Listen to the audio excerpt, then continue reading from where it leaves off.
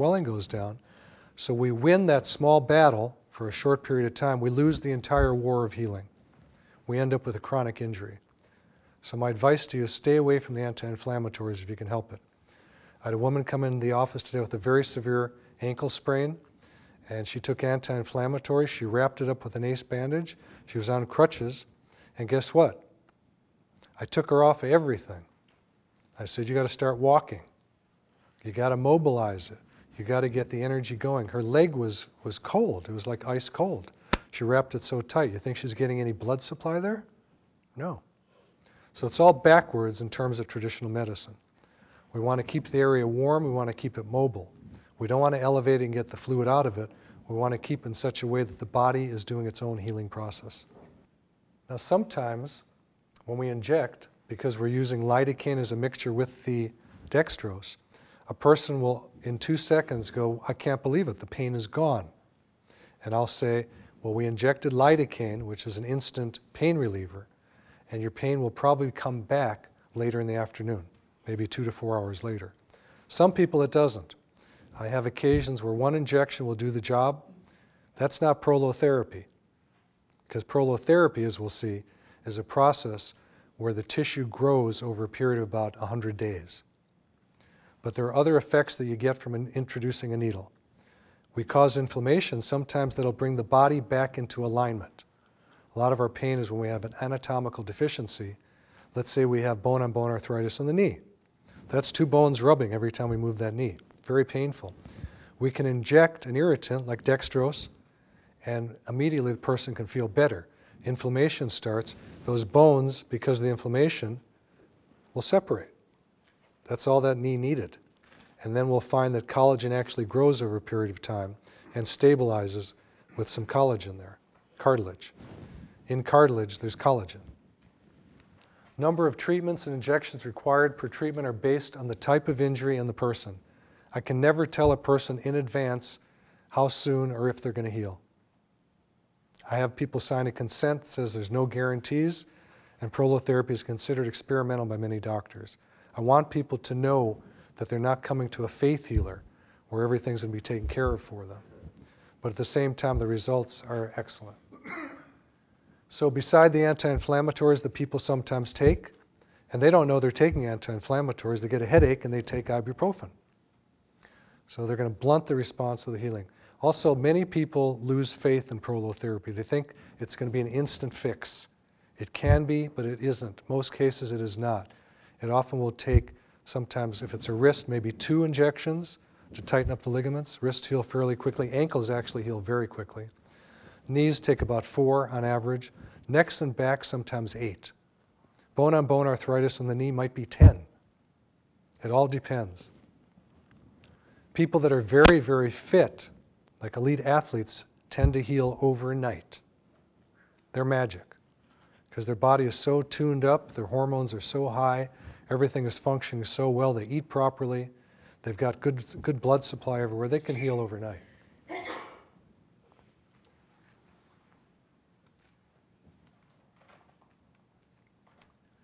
This is Johnnie Morton Jr., who used to play football. Anyone remember him? Great guy. He came in with uh, many, many different types of pain issues from playing football for years. We injected, the first thing I think I injected was his uh, gluteus maximus muscle on the bone. I'd never done it before, but it's not rocket science to do most of this once you know the anatomy. So I took a uh, two inch needle, injected down to the bone through the gluteus muscle where his pain was, that was gone, I think, the next day. I injected many different parts of his body over the years, and uh, he's had he's one of these guys like myself that has excellent success with prolotherapy. So whenever he gets beat up, now he's doing cage fighting and other things like that. Um, and he's done with football. You know, he had a good career with that, but he's on to other things. So every patient heals differently. Recovery depends on overall health status and how frequently a patient uses an infected area. So I had an actor one time who lived up in Malibu, very famous guy. He was about 38 years old, and he had several points that hurt him his knee, his elbow, and his shoulder. Okay? I did prolotherapy four times, and the fifth time he came in, I said, how you doing? He said, I didn't get any better. And I said, we talked about your exercise regime. Have you slowed down? And he said, yes, I did, just like you told me to. I said, what are you doing now? He says, I cut back from four hours a day to two hours a day. And I said, we don't need to meet ever again because I don't think you're going to get better. He was using the same joints over and over, expecting different results. Remember Einstein's definition of crazy? Doing the same thing over and over, expecting different results.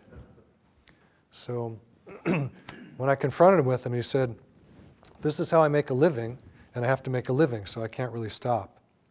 So, unfortunate case, because what he had was real easy to fix. This guy is C. Everett Koop. Anyone remember him, our previous Surgeon General? Wonderful, wonderful man. He was a pediatric surgeon. He took care of little children. But on the side, guess what he did? Prolotherapy. Guess who he did it to? His parents, you know, the patient's parents. He never charged for it. Why did he do it? He had low back pain and leg pain. He was told by two neurological institutes that if he didn't have surgery, he would have pain the rest of his life. Surgeons don't like to get surgery. So he never did. And he was healed by a guy named Gus Hemwall who worked with George Hackett. I mentioned George Hackett before.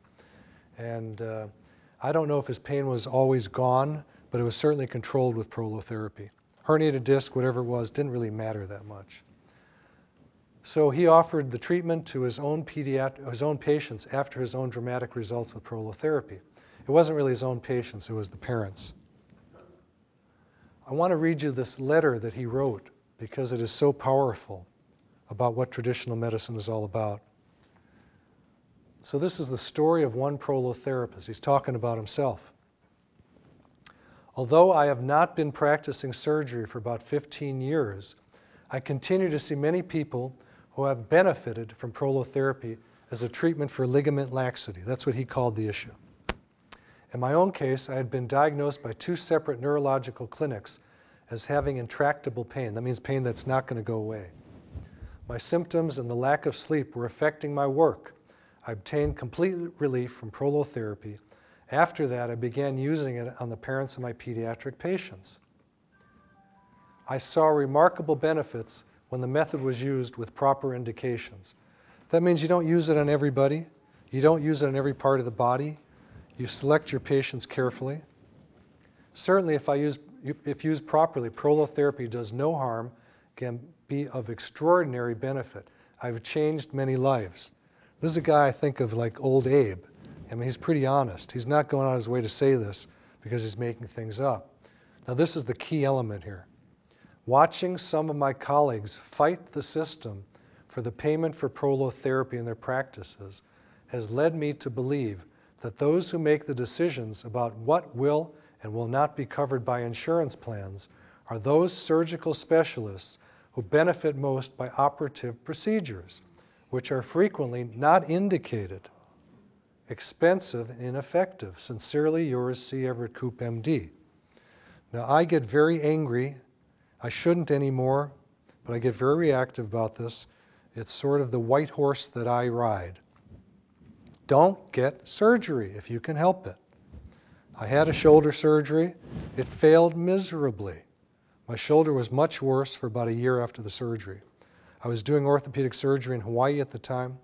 My boss just said, Let me scope it for you. I had a weightlifting injury. And I was like, Cool, let's scope it. You know, it's just a little arthroscopic little things that poke in. A little camera goes in there. You shred off a little of the tissue that's getting in the way. And I woke up. I had a bad fever. My arm was about this big, full of, of fluid. Some vessel, probably lymphatic vessel, was cut. I had two big blisters on my shoulder after a couple days, and I was terrified. I thought I had an infection. It took a year for that shoulder to heal back to the place it was when it wasn't healed. It still wasn't any good. Learned about prolotherapy after that. Guess what? One shot, sitting in my bed with my wife sitting next to me, who's a nurse practitioner watching TV. I wake up the next morning and my shoulder is healed. It was a miracle for me. You know, the lights started going off. This is something that works. I then started begging my patients to let me practice on them.